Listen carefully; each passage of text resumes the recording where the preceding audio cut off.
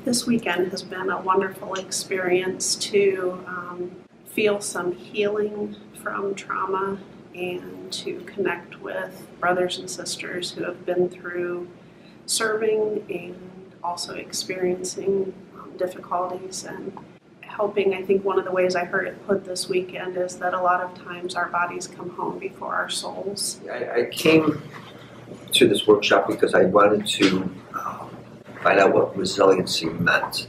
I've always been very hard on myself, uh, try to stuff my feelings, and when I came here, I discovered that I don't have to do that. There's a God that loves me, that sacred spaces and, and sacred ground is all around me. I just have to be open to it, and um, I felt myself healing uh, throughout this whole process this weekend. I was excited to come here and what I thought would be interact with other veterans and solely other Catholics that would be siloed into this one single purview. Um, and what I learned from this, especially from the grace of uh, Father Conrad, was that um, it doesn't really matter what walk of life we came from. We all walk the same broken path and hopefully walk back together, um, healed. But um, And so it was an opportunity to take our soul through the journey coming home.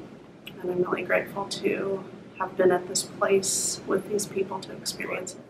I'm understanding now that, that I carry the image of God within me, and I just have to come into myself and, and uh, give myself up to Him, and, and everything will work out. What I've taken away from this is I think it's not only helping me, but it's going to help my family when I go home and my relationships that I have been in that have been troubling. And I highly encourage anyone who has been a veteran and you've learned to stuff your feelings and, and just carry on and do it. This is going to help teach you how to do that.